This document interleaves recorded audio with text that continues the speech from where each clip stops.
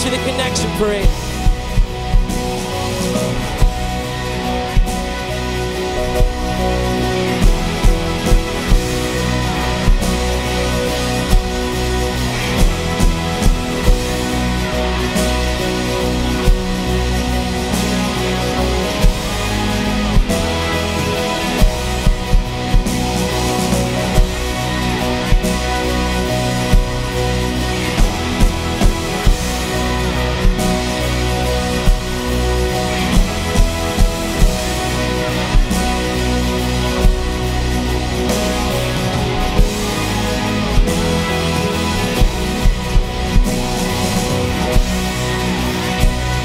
Well, good morning, Bridge family. I'm Pastor Lisa, the Connection Group pastor. Today and next Sunday, we will be highlighting the spring and summer connection groups and inviting you to join a group. The purpose of our groups is to connect you to God, one another, and the marketplace. I hope you have discovered that we need one another, and our groups are a great way to get connected at the bridge. We have six different types of groups. We have learning groups, which have transitioned to Zoom meetings, fellowship groups, administrative, hope and prayer, recreational, and serving groups. The upcoming video will introduce you to half of our groups. The next Sunday, we'll highlight the other half. Enjoy the Connection Group video parade.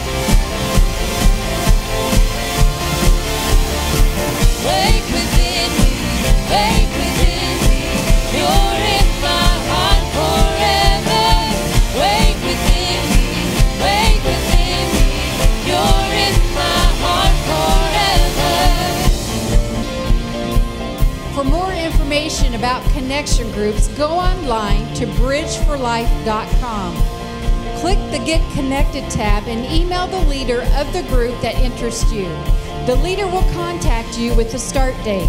Let me challenge you to get involved because our faith is designed to live in community with others.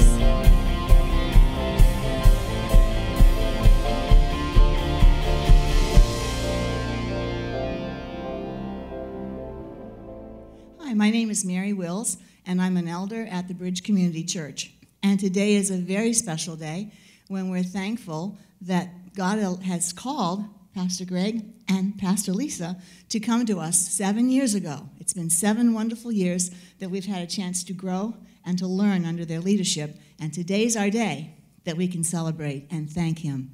Um, we made some cards because, you know, we're not supposed to go out shopping right now. And so, Pastor Greg, we want to thank you for answering God's call and come. You left Florida, you left a great career, and took on a case called the Bridge Community Church. And I thank you for that. You're teaching us, you teach us to seek God's face. And you teach it through leadership, through prayer, through His Word, and your example. And we thank you. We had a vision years ago of connecting to the community, that's the, the bridge, but you've come and made that real. And with that, you've given us Pastor Lisa. And thank you for coming and changing your whole world. When you came, you weren't a pastor. And now you are a pastor serving alongside our whole congregation, teaching us how to better connect and with the community, which is a huge opportunity, especially in the day in which we live, where we need to reach out to one another, we need to have compassion, and we need to teach people that God has it. We don't have to worry. We just have to be obedient and faithful. And that's what you've exampled, given us that example and life. So I just thank you. And I thank you for looking forward to another seven or more years with God's new dimension. And we don't know what that will look like, but we're ready. Let's pray. Father, I thank you. I thank you, Lord, that we can come here and be a part of your ministry and your calling at the Bridge Community Church in Warrenton, Virginia. I thank you, Lord, that years past you put the burden on people's hearts to start this ministry as a small little cottage ministry. And yet you have grown it, Lord, where we can reach out and touch thousands of people through technology and through your love giving us wisdom. I thank you, Father, for Pastor Greg and Pastor Lisa for sending them to us, that they would come, Lord, and, and seek your face and share your wisdom with all of us. Thank you for growing us, Lord, sending other pastors our way, sending people our way, Lord. You are a God who loves people, and I thank you that you've allowed us to partner with you, to walk with you under the leadership of Pastor Greg and Pastor Lisa. We thank you and we look forward to your new dimension. We look forward to whatever you call us to do. It's for your glory, Lord. Amen.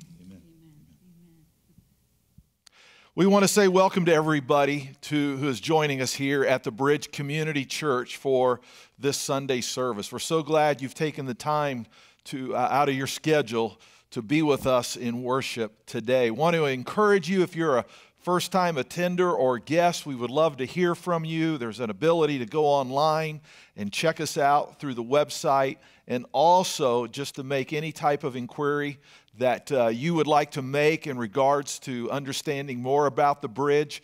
Uh, we just again are so grateful that you've taken the time to join with us today. At this moment, we want to transition to another form of worship, which is uh, through giving. And today we're going to be reading through Proverbs chapter 12, verse 14. And uh, let's read this together. From the fruit of their lips, people are filled with good things, and the work of their hands bring them a reward. And as I get ready to pray for the offering, I just want to remind you you have the opportunity to go online and you can text uh, your giving, you can uh, use our website, and always you can send it by snail mail. But let me pray. Jesus, I want to thank you for the opportunity that we have to worship you through giving. And Jesus, we do. We ask that you would bless the, the labor of our hands to produce the fruit that you've created us for. And in this challenging time, I know, Jesus, that ultimately you're the great economist. You know trends and you know things, God, that uh, no one knows. And so we pray that you would help your people to be a part of solutions, not only facilitating uh, the activity of God in our own houses, but help us, Jesus, to bless others. We pray these things in Jesus' name. Amen. At this time, I'm going to ask you to stay tuned for the morning announcements.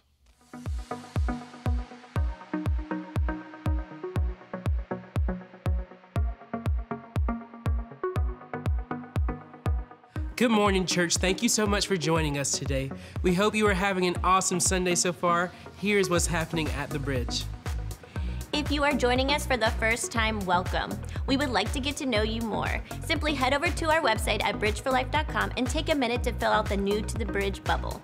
Once you complete it, you will receive a special gift via email. We love staying connected, and one way we are able to do that right now is through email. If you would like to join our church wide email list, please send us your email, first and last name, at welcome at bridgeforlife.com. As you have seen today, a great way to grow in our relationships with God and others is by joining a connection group. Many of the groups are starting in the next couple weeks. So we encourage you to sign up for one today online at bridgeforlife.com under the Get Connected tab. Once you sign up, the group leader will contact you with the start date and all the details. Parents, mark your summer calendars for youth and kids camp in Gore, Virginia. Youth camp is scheduled to be June 15th through the 19th and is still open for rising seventh graders through graduating seniors. Kids camp is scheduled through July 20th through the 24th for all kids 8 to 12 years old. If you are interested in sending your youth students or children to camp this year, check out potomacag.org website for registration forms and details of these exciting, fun-filled weeks. Any additional questions, feel free to contact me at lauren at bridgeforlife.com. Hey, church, thanks for joining us this morning. Tonight, we're having young adults at 6 p.m. If you email me or text me, I'll send you a Zoom invite. That way, you can jump on with us. You can also just text me or email me if you want to learn more about young adults and what we're doing. I look forward to hearing from y'all. Lastly, a big thank you to everyone who donated cans to Fauquier Fish. Together, we were able to donate over 200 cans. All cans will go towards helping to feed our kids or neighbors that are in need right now in Fauquier County. Again, thank you to everyone for your generosity to our community during this time.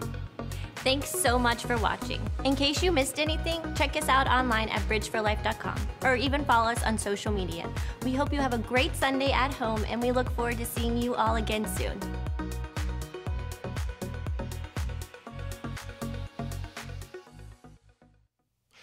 Again, we want to say thank you for taking the time to join us today at the Bridge Community Church uh, for this Sunday service. And today, I'm going to begin a new series on the book of First Thessalonians, and it's called Fearless Faith. And so uh, I think this is an appropriate topic, and especially I think the, the uh, book of the Bible, First uh, Thessalonians, speaks to us uh, in particular to this crisis that we are managing in our own country at this particular time.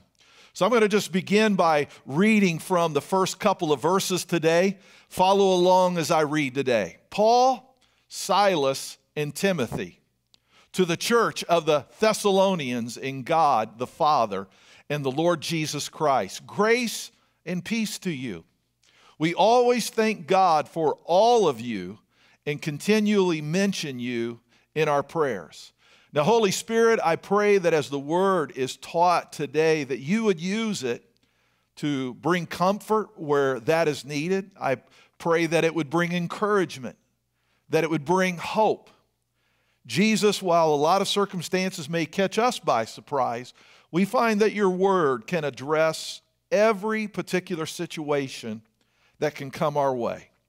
And so I pray that regardless of the momentum and the trajectory of people's lives today, that the Word of God would speak to them at the point at which they're at. And then also, Jesus, speak to them about the next dimension that you have for their life. In Jesus' name, amen. Again, thank you for taking the time to join us today. And as I introduce this series on First Thessalonians, I kind of want to just uh, lay some foundation and some background. And uh, if you're a movie watcher, you've probably have noticed a rather uh, uh, uh, uh common pattern that is used to introduce movies. They'll oftentimes start out giving you a background. Uh, they'll put a subtitle at the bottom of the screen telling you the location and the year to kind of get your mind frame from the particular time that you are in to the particular time that the movie is portraying. And so, and then they'll spend a few minutes giving you a background. And then, because you have the uh, timeline of when the story is and where it is, and you have a little background, they then launch into that particular movie's theme and the, and, the, and the story that they're trying to tell you. That helps us as an audience to connect, is what it does. It allows us to take off for a few minutes where we're at in this particular time frame and get our mindset into another time frame and then we begin to enjoy and understand the movie in a greater dimension. Well, I'm going to use that same technique today, okay, if I could say that. I want to go behind the story of First Thessalonians. We're not going to see a movie today, but I want to show you a timeline. I want to give you, if I could, the ability to take your mind where you're at today and take it back in time and understand a storyline and understand some events. The reason I'm doing this is I actually had a different title for the series. And then as I began to do the background on it, I recognized that the title that I had was not reflective of the momentum uh, of, of the book from the history from which it comes from. And so, as I studied the history of this particular book, I realized I needed to make a shift because some of you who have been a part of the bridge for a while know this particular phrase that I often say, and I almost fell victim to it myself. And it's this text without context will lead to pretext. Let me say that again. Text without context will lead to pretext. What does that mean? If I don't get the context of something, then I'm going to impose something that is familiar to me, or I'm going to impose a preference that I already have. But if you get the context of what is being said, you'll often find that it's, oh, there's a, there's a meaning, there's a storyline that is so obvious. Now that I have the background, I get it. This makes the, script, the scripture so much more easier to understand. So, let me give you a timeline for about the next five or eight minutes here.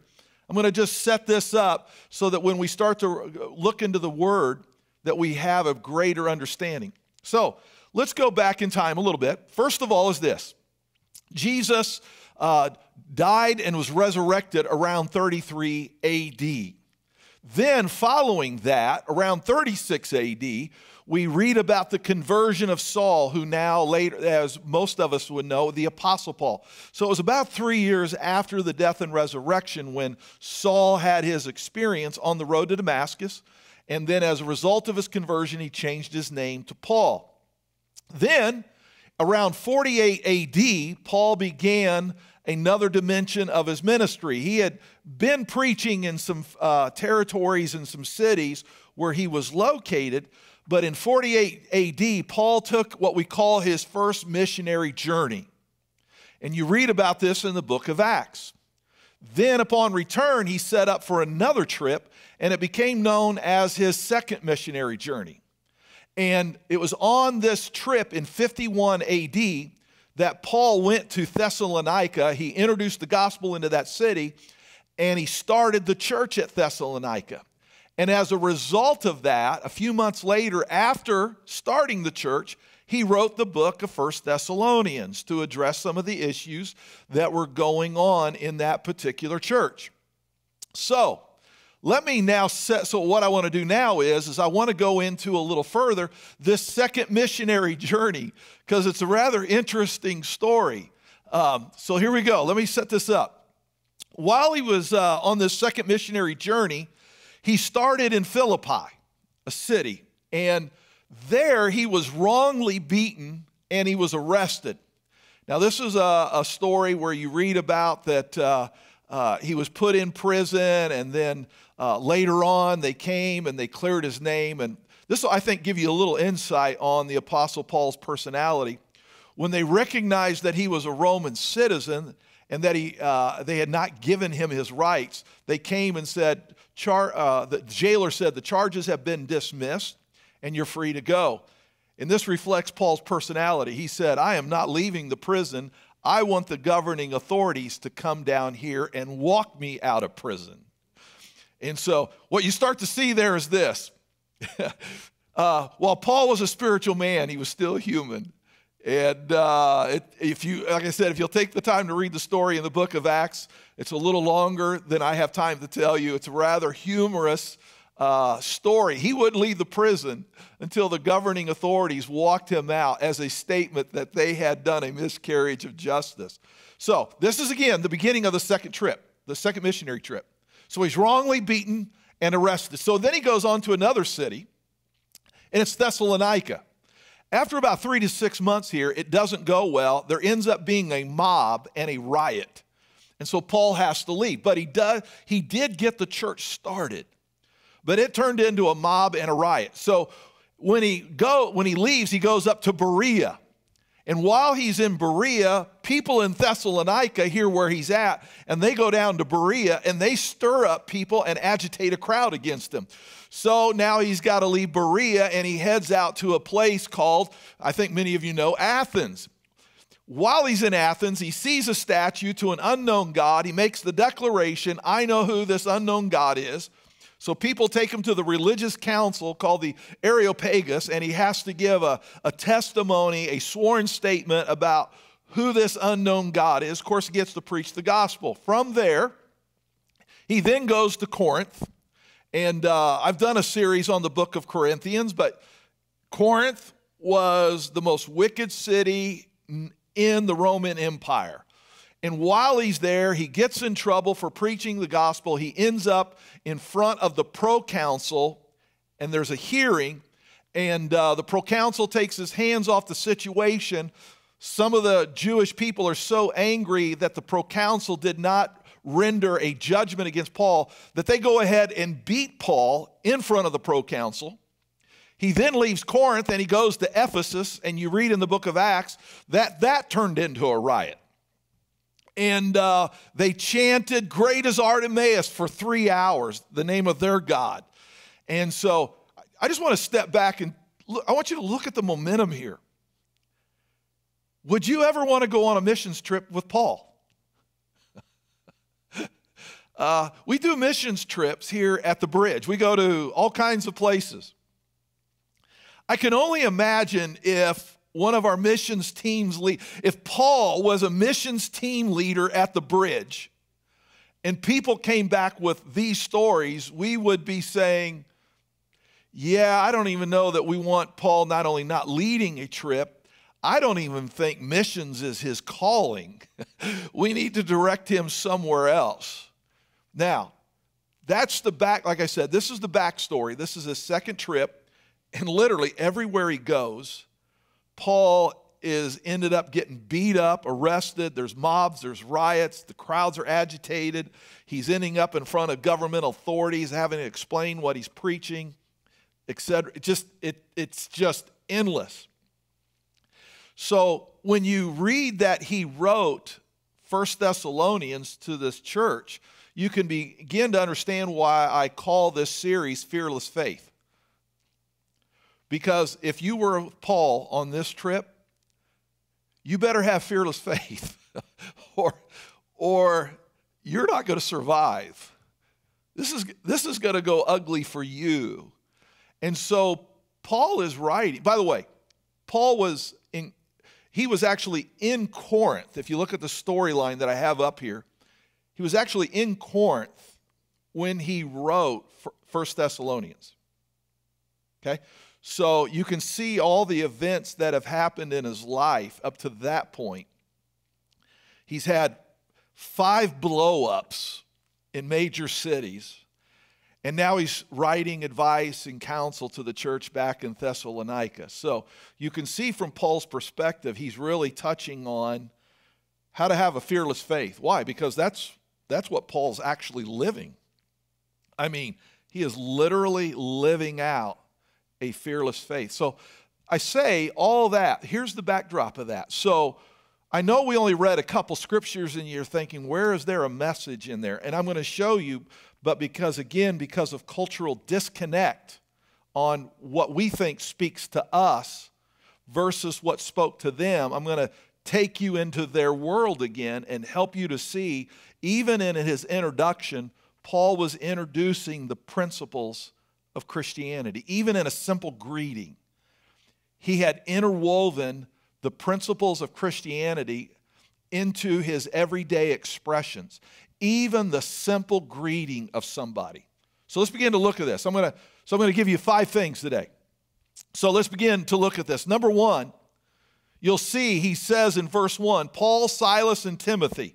So you begin to see what Paul is introducing here is this effective biblical leadership is a team effort. Paul didn't do the missions trip by himself. You can only imagine if Paul had done this trip by himself, given what we see played out, would have been disastrous.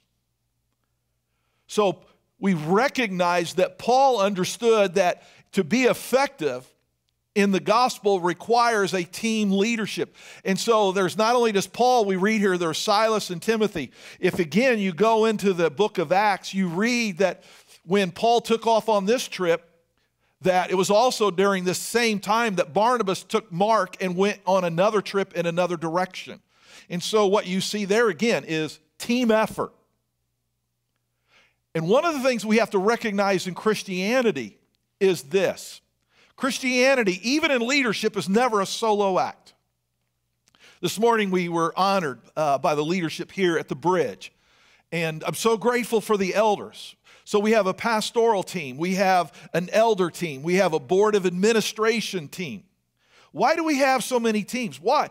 Because in order to effectively do the gospel the way that is intended, according to the scripture, it's going to take team effort. And it's not just one team, it's varieties of teams. And it's everybody doing their part based on what the assignment and the mission and the vision is for their team. And Paul recognized this. It wasn't enough for him to go, he needed to take other people with him. The second thing I want you to see in this story is this effective biblical leadership is also diverse. Now, I, it says Paul, Silas, and Timothy. And here's an example of where we have to dig in a little bit to learn the kinds of people that were forming these teams, these, these in this particular case, the second missions trip of Paul. We need to look and dig a little deeper. So, Number, th- number one, I want you to notice is Paul. Paul, who was Paul? Paul was an educated Roman, Jewish Pharisee. Now, that's a mouthful. This is what made Paul so unique.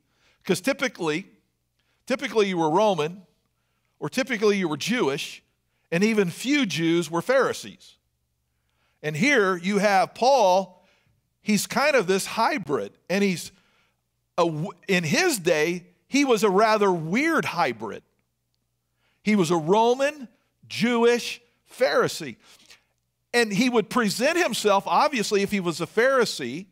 Okay, so he was, he was accustomed to a, a religious presentation.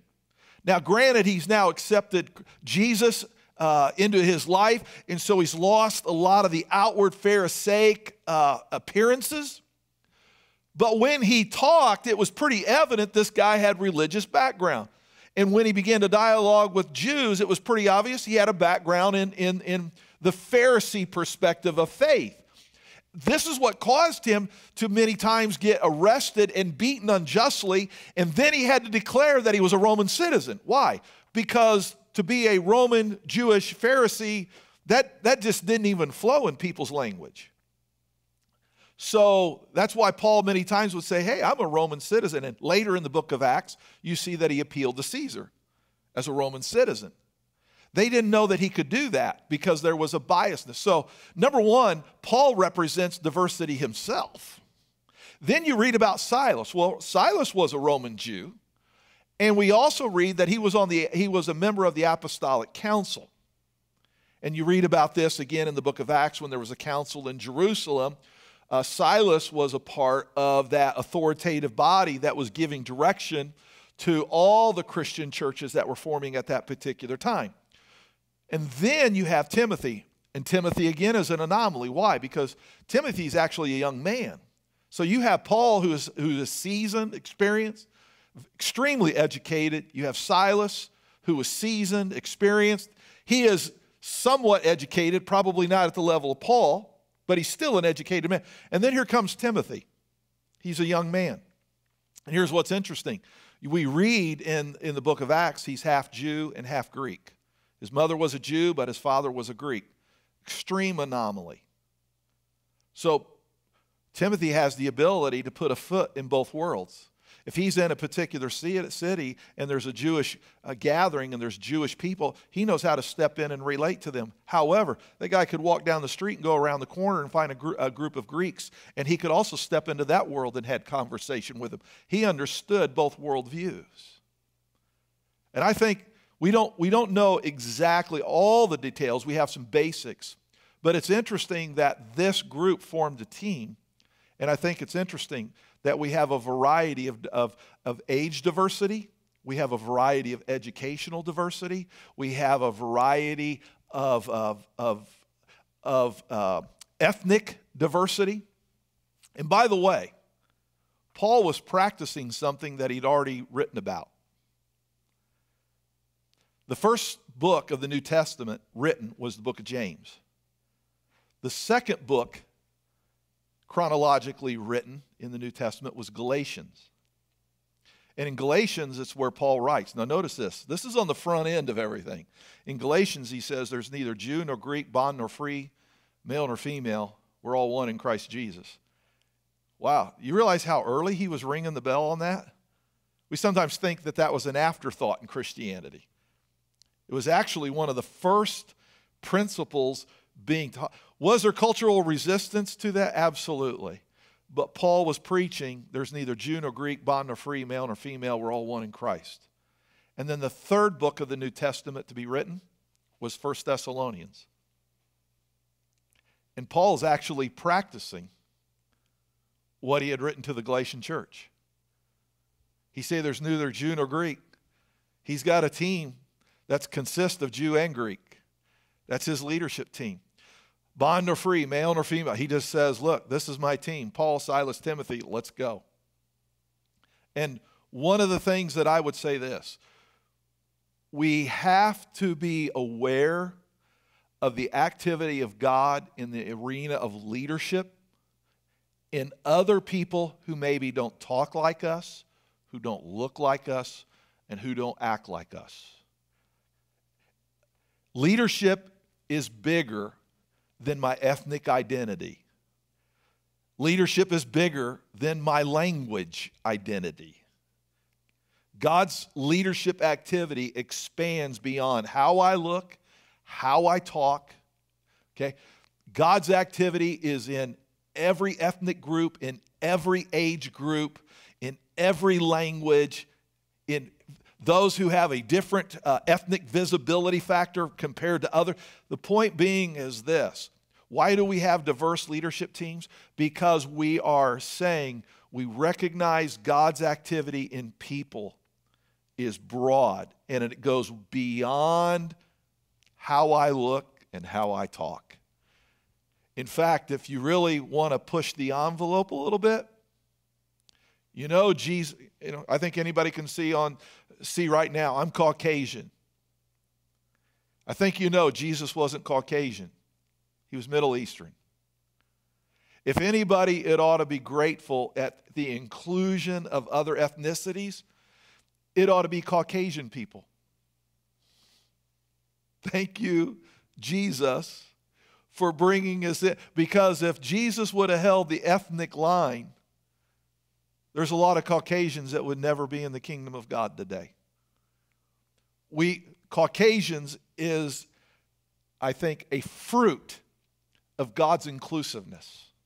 He didn't expect us to have the same look, ethnically speaking, and language. You know, Jesus didn't talk English either. He talked Aramaic, he talked, he talked Hebrew, he talked Greek. So again, we embody the very acceptance that Paul taught. We are an embodiment of, of God's inclusiveness. Let's move on. Number three, we read here that fearless faith requires community with other followers of Christ.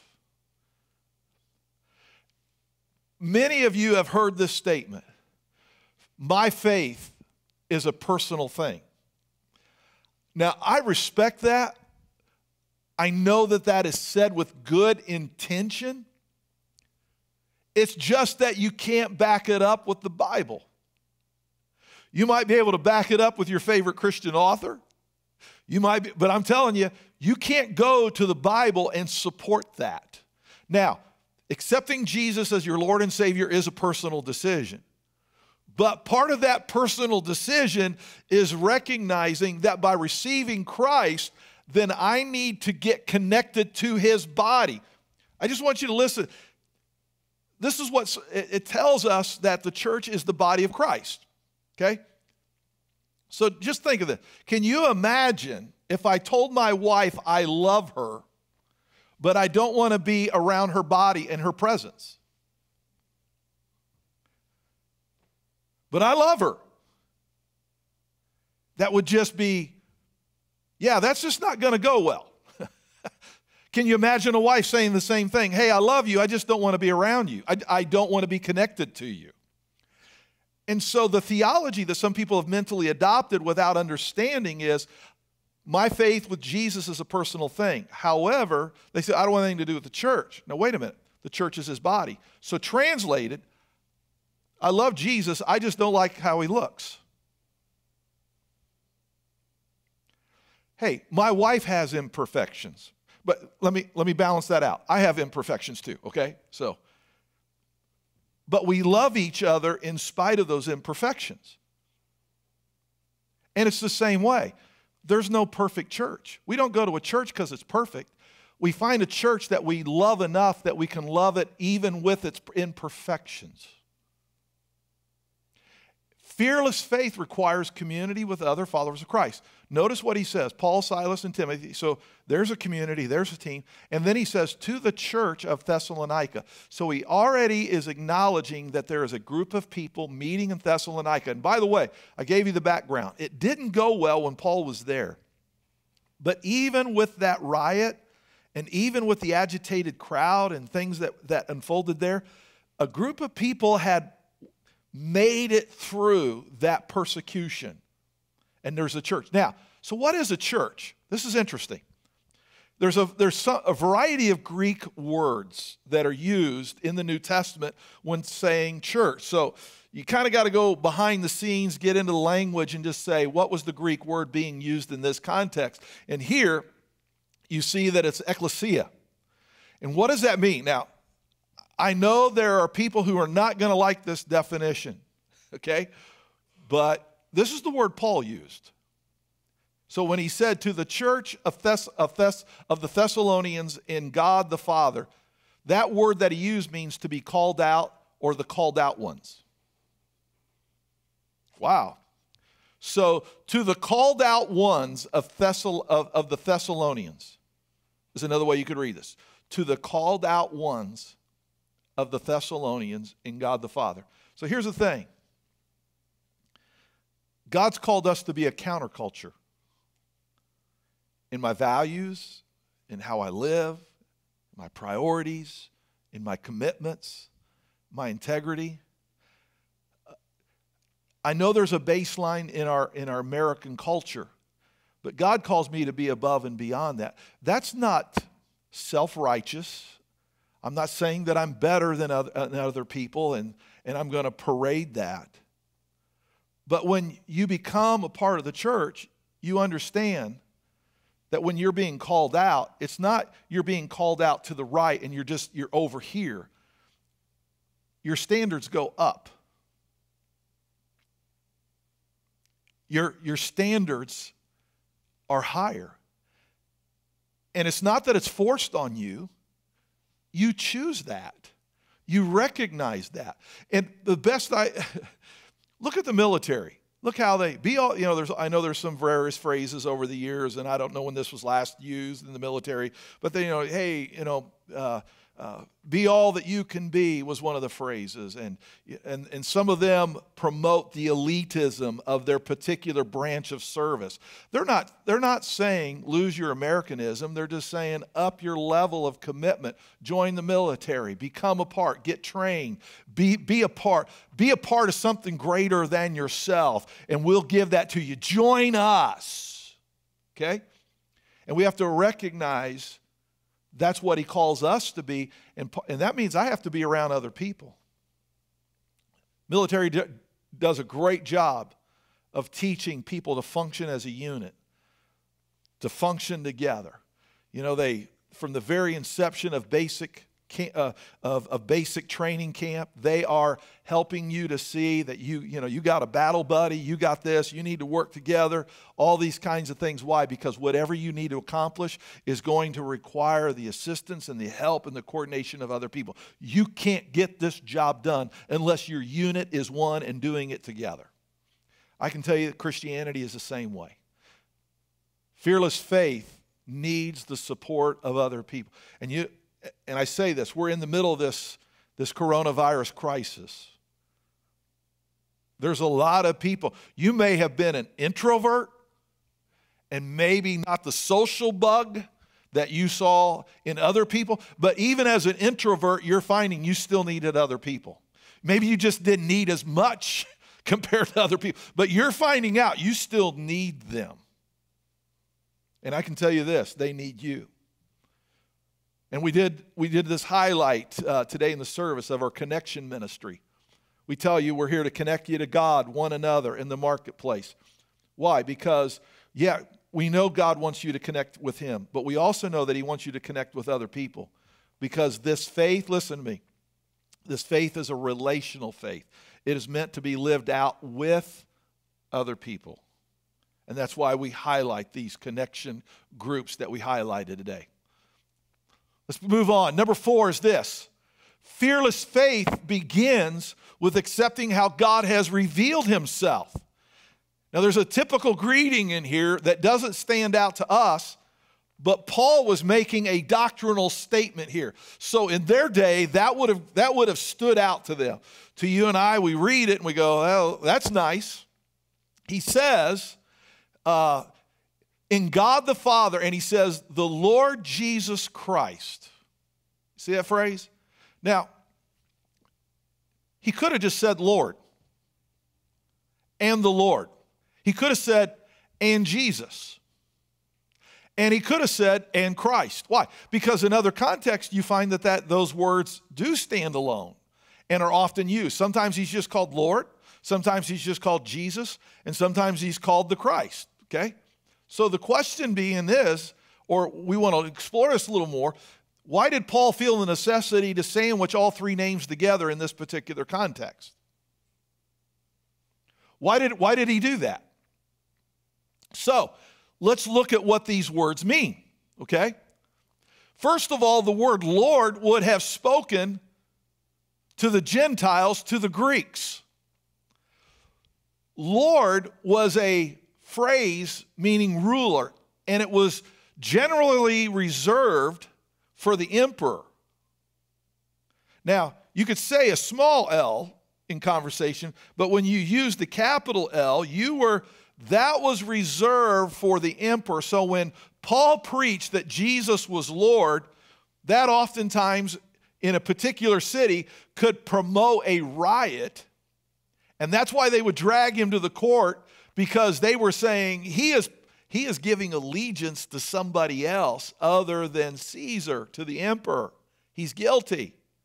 He's promoting insurrection.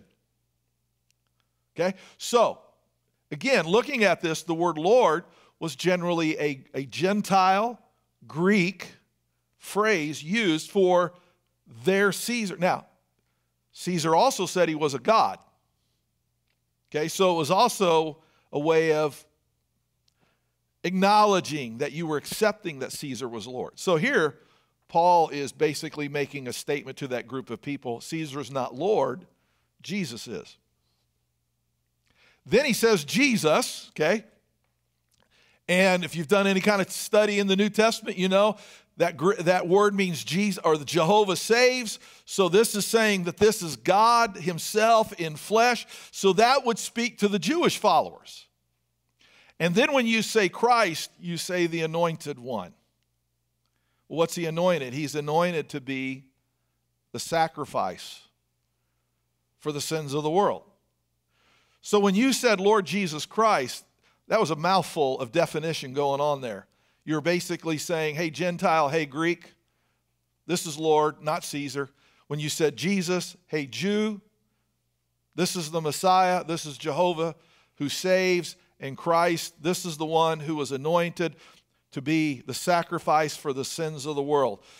So, Lord spoke to the Gentile Greek, Jesus spoke to the Jew, and Christ spoke to both of them that He's the way, the doorway to accepting uh, uh, Jesus as your Lord and Savior, no one goes to the Father but through Him. So you could see what a mouthful of communication that was. Again, you and I, we say these words so fast, we don't even, we don't even know the background of the definition. So, just in that simple statement, he was saying fearless faith begins with accepting how God has revealed himself. Hey, Greeks, he's the ruler. Hey, Jews, he's the Messiah. Hey, everybody, he's been anointed to die for the sins of the world, your sins. And nobody goes to the Father but through him. And you know what? Paul preached that, and it created riots. He got hauled away to prison. What you find is Paul didn't modify his message. I don't think we try to go out and agitate people, but we can't be naive to think that everything that we believe at some point is not going to agitate somebody. I know over the course of my life, when people have sometimes figured out what I believe or they've heard me express, they were pretty quick to come at me and say some things and write things. And I've had a variety of experiences over my life. And it doesn't give me a right to be nasty back to them. But I don't modify my message either. Because I understand the, the, the, the principles of Christianity haven't always been receptive. There's times in history it's found favor and been the basis of a culture. And then you find sometimes these principles bring anger and rejected, and you find maybe those principles being pushed out of a society. I don't believe what I believe because it's being accepted. I believe what I believe because that's what's been revealed. And we have to understand that in fearless faith, you go with what Jesus, how he's revealed himself to us. Last thing is this fearless faith embodies grace and peace. You'll see this in the text here. He says, Grace and peace to you. Yeah, typical greeting, but it was also, again, a statement of introducing us to the principles of Christianity. What is the foundation? And I find it ironic, there's a lot of teaching today for whatever reason, uh, a lot of teaching on grace. There's books, there's authors that are putting stuff out, and think a lot of it is good. But I think we want to be cautious. Let's go back to the let's go back to the word that is being used and what it means. Okay? So the word grace actually comes from the Greek word charis. And some would just say, hey, it means unmerited, un- unmerited favor. It, that would be accurate. But let me give you a little more. The word grace entails favor, it means joy, it also means pleasure. It's, it's all of that. And granted, it's unmerited. So, unmerited favor, joy, pleasure. And then he used this other word, and it's called peace. And it comes from a, a, Greek word, and it means this it means rest and assurance for the soul. Rest and assurance for the soul. So, when you begin to look at this, you find some principles of Christianity being expressed. And again, this is to the Thessalonians, where there was all this unrest. Paul had to flee for his life. The church has been able to manage, being a new church, they were able to manage through it. And what Paul is, is telling them is that God wants to give them grace. Hey, God wants to give you favor, joy, pleasure. Why? Because in their context, it wasn't very pleasant. Faith was, faith was hard right now. Um, there wasn't much pleasure going on. But then I think the last piece of this the rest and assurance for the soul. A lot of those folks who had become a part of the Thessalonian church, because of how their culture worked back then, found themselves excommunicated from their own families. To convert from the Jewish faith to the Christian faith could have some serious fallout in your family relations. They would push you out and have nothing to do with you. But that also would happen in the Roman slash Gentile word, world, Greek world. They could be equally devastating. So why, why, would, why would people do that if they knew this was going to be the fallout? Because the conflict on the inside was greater than the conflict on the outside.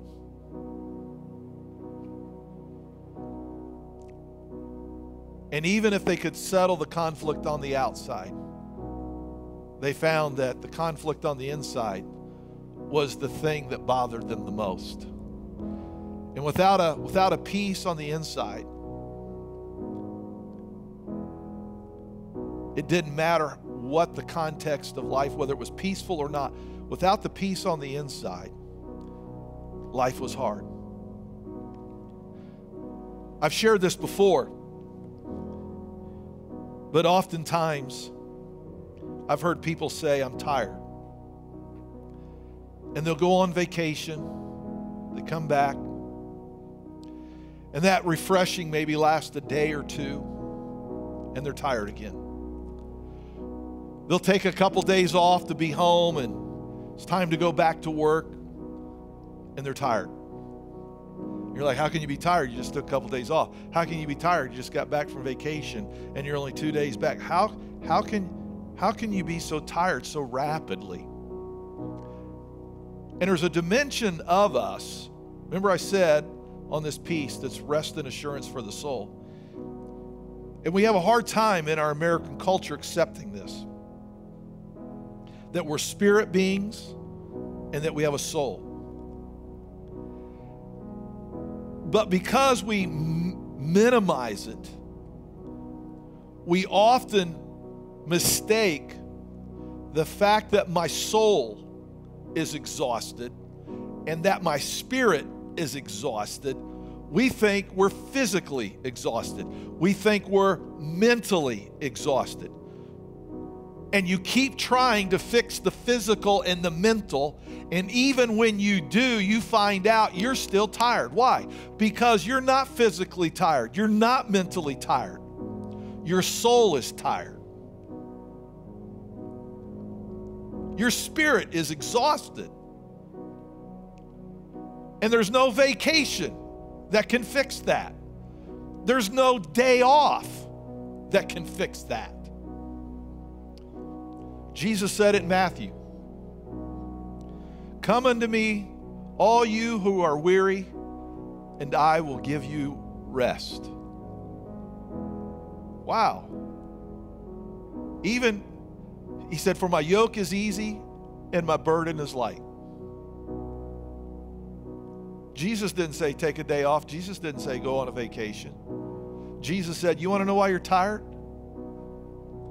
Your soul is exhausted, your spirit is spent. And he said, Come unto me, all you who are weary, and I will give you rest. That's how I close out this message today for you.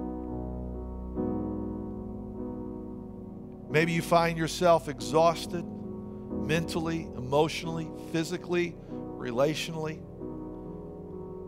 And I would just tell you maybe the greatest thing that you could do is give your soul rest. And you just might find that everything else begins to take care of itself. Seek first the kingdom of God and his righteousness, and all these things will be added. As we wrap up the service today, let me just say this. It's not my intent to do something here that's weird. It's not my intent to be coercive in a in a in a in a very unethical way. But I hope you hear I believe what I say and that's why I presented it to you. And maybe today you recognize, yeah, that's my problem. My soul's exhausted. Maybe today you recognize it's time to ask Jesus into your life. And if that's you, wherever wherever you're participating in this service today, repeat this prayer after me from your bottom of your heart. Come on, say it. Dear Jesus, I come to you and I am taking responsibility for my life. My soul is exhausted. And I can't fix that any other way other than by inviting you into my life. And I say today, you are my Lord, you are my Jesus, you are my Christ. I invite you in, in Jesus' name. Amen. Amen. Listen, if you invited Christ into your life, We want to encourage you to go to our website and you'll see the pastoral team and also a welcome uh, email address, address. There's a variety of ways for you to communicate. We would love to hear from you about what God's doing in your life, about how God's helping you. And if you have a prayer need, we would love to be aware of that and we will pray for you. But again, thank you for taking the time out of your schedule to gather with the believers today. Come on, wherever you're at, lift your hands. I'm going to say the blessing as I always do because I believe in the power of the spoken word. I bless you in the name of the Lord. May He bless you in this city and in this county. May the fruit of your womb and the crops of your land and all your livestock be blessed. May He bless the work of your hands at home, at work, at church, in this community. May He bless your coming and your going. May the Lord grant the enemies that are rising up against you be defeated. When they come at you in one direction, let them flee from you in seven directions. May the Lord send a blessing on everything you put your hand to do. May He continue to establish you as His holy people. May all people see that you have been called by the name of the Lord. May the Lord grant you prosperity, opening up the heavens, the storehouse of His bounty. May He bless the work of your hands. I bless you in the name of the Father the Son, and the Holy Spirit. And everybody said, Amen. God bless you. Have a great day. Thank you for joining us here at the Bridge Community Church.